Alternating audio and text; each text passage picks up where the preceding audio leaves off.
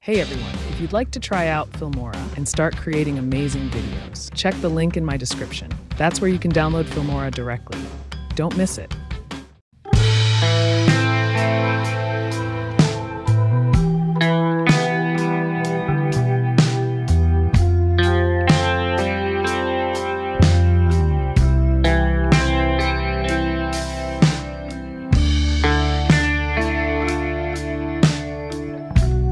Welcome, drag a picture to the timeline, right click, and choose crop to fit so it fills the screen. After that, click to add a keyframe on transform. Then scale it up to 140, set position X to 383 and position Y to minus 78 so that the picture moved to the right as shown.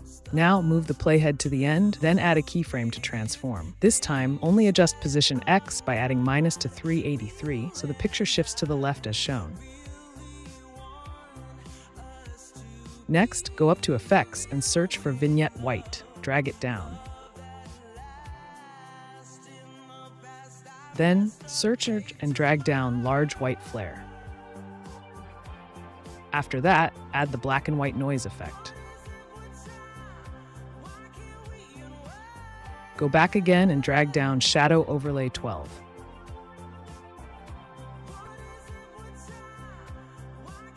Finally, search for Old Slideshow Pack Overlay 02. Drag it down, then click on it and reduce the opacity to 40 as shown.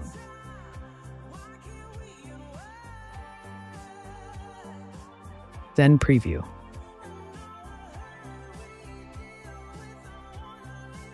Now, go to Media and drag down the same picture you used earlier.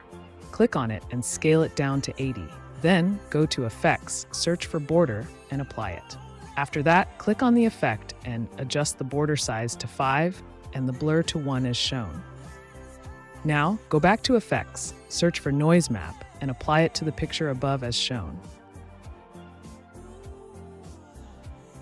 Now click to add a keyframe on Transform, then set position X to minus 315 as shown. Now, move the playhead to the end and go up to add a keyframe on Transform.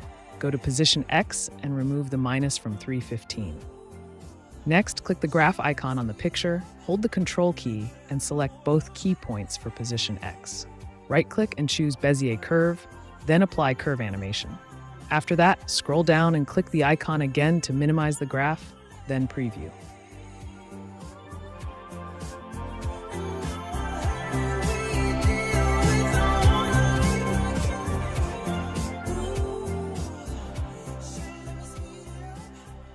Now, click on the picture, go up and scroll down to apply drop shadow.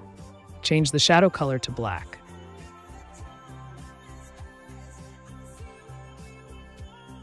After that, select all, right-click to copy, then move the playhead to the end, select track 1, and paste as shown.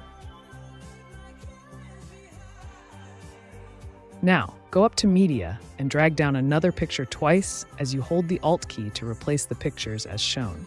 Next, click the picture on track 1. Select the first keyframe point, then add minus to 383 in position X. After that, select the second keyframe point and remove the minus from 383. Now scroll up to the picture above and click on it. Select the first keyframe point, then remove the minus from 315. Next, select the second keyframe point and add a minus to 315, so the animation moves in the opposite direction. Now, select All and right-click to copy. Move the playhead to the end, select Track 1 and right-click to paste.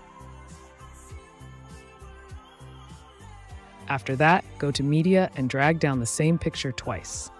Hold the Alt key to replace the pictures on each row of the timeline as shown. Now select each column one by one and right-click to apply Compound Clip until the last one. Then, go to the left and delete the empty tracks as shown. At the end, you should have four clips.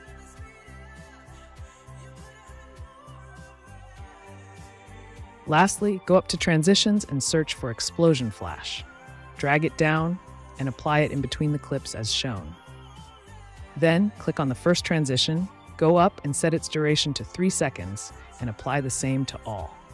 Finally, preview your work. Thanks for watching The template link for this tutorial is in the description, along with the download link for Filmora. Have a wonderful day.